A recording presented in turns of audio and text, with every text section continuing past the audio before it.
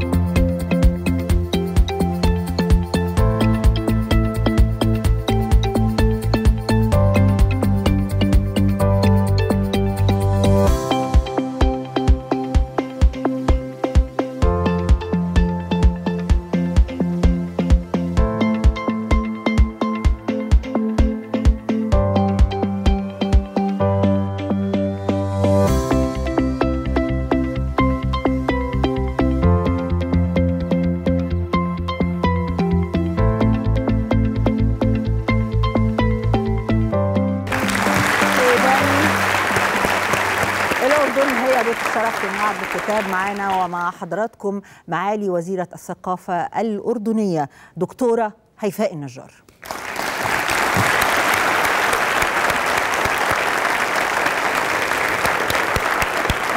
أهلا بحضرتك. دكتورة هيفاء النجار. شكرا شكرا. وزيرة الثقافة الأردنية والشخصية العامة المرموقة في الأردن. أهلا بحضرتك أهلا بيكي. أهلا بك بمقام وزيرة الثقافة واهلا بالمملكة الأردنية الهاشمية. ضيف شرف في معرض القاهرة الدولي خليكم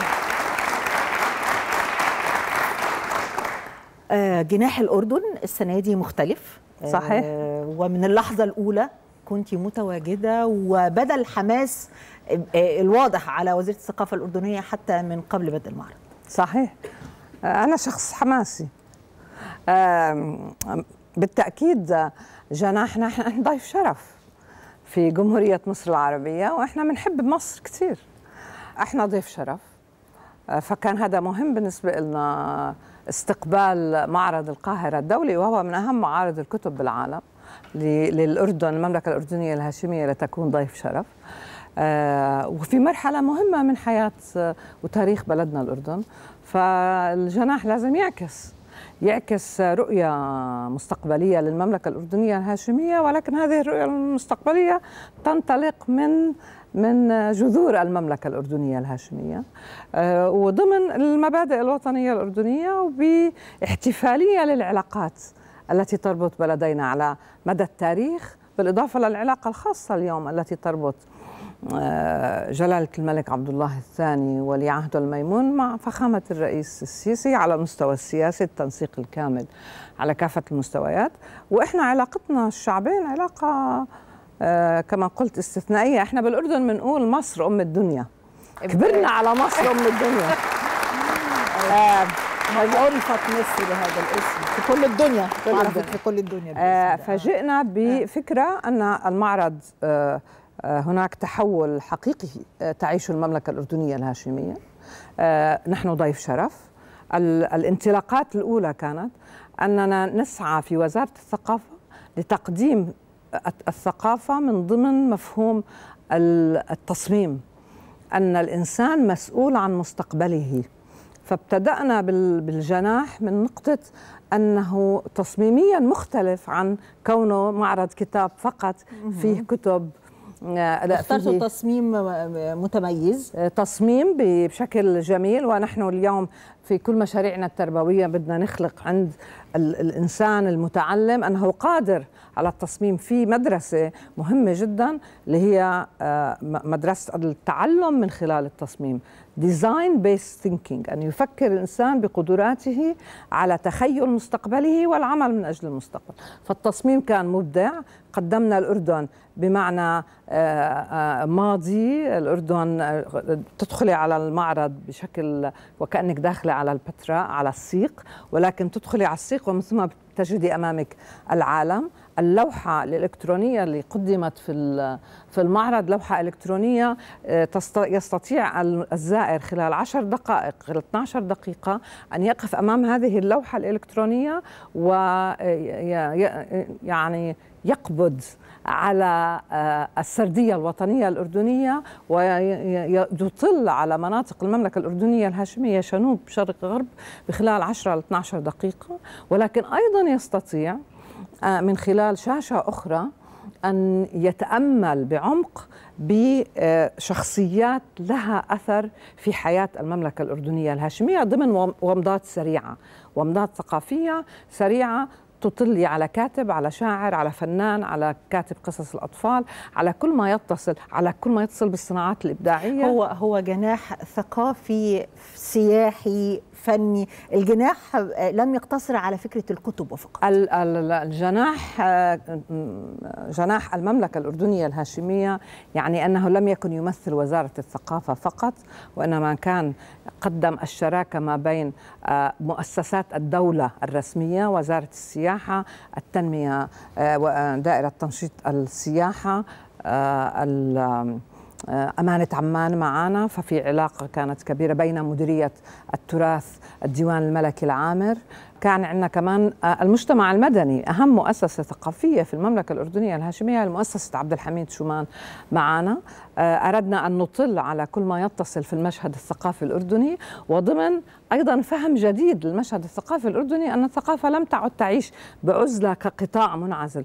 الثقافة نحن نؤمن بالثقافة بإطارها الأفقي. أشرتي معالي الوزيرة إلى تلك العلاقات ما بين مصر والأردن اللي بالتأكيد لا يمكن أن نقتفي أثرها لأنه أثر أزلي يعني. صحيح. إنما لما نتكلم عن العلاقات الثقافية الأردنية فدي ممكن الرجوع لها لبعض السنوات. لما نتكلم على تبادل ثقافي لما نتكلم على وزراء ثقافة صحيح. عرب في فترات الخمسينات والستينات. يعني في تاريخ من التعامل الثقافي الرسمي أو التعاون الثقافي الرسمي ما بين مصر والأردن. إذا عم نحكي عن المئوية الأولى من حياة المملكة الأردنية الهاشمية إحنا كان الملك المؤسس على علاقة منذ البدايات في الملك العائلة المالكة في جمهورية مصر العربية. في كانت الملك فؤاد الملك فؤاد.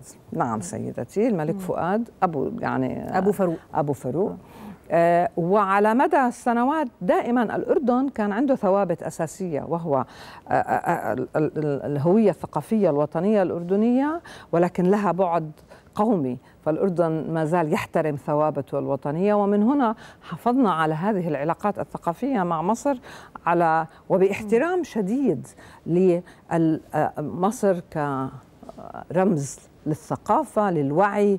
الثقافة بناء وعي.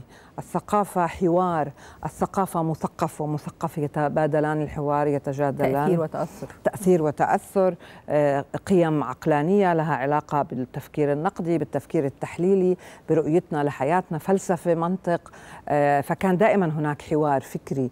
والجامعات المصرية بدون أدنى شك كانت تستقبل المثقفين الأردنيين وخرجت العديد من المهنيين والمثقفين الأردنيين. ولكن أيضا نحن نؤمن أن السردية الوطنية الأردنية سردية يمكن للعالم أن يتعلم منها ويحق لنا كأردنيين أن, أن نعتز بهذه السردية الوطنية والتي هي تأسست على فكر على رؤية على ثقافة على حبنا للشعر وللحوار وعلى علاقاتنا المتينة مع الدول العربية وعلى احترامنا الكبير لجمهورية مصر العربية كمنارة.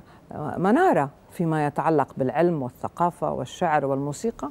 الأهم اليوم بهذه المرحلة التاريخية أننا نتوافق تماماً في علاقتنا مع وزارة الثقافة المصرية على هذا على أن الثقافة لم تعد بعزلة. الثقافة ليست فقط مشروع مسرح. الثقافة تقع محرك خفي للتنمية الاقتصادية. الثقافة محرك أساسي في مجال الأمن الاجتماعي والسلم الاجتماعي. اشترك في باقات واتشت الشهرية بتبدأ من 14 جنيه و99 قرش وباقات سنوية تبدأ من 150 جنيه.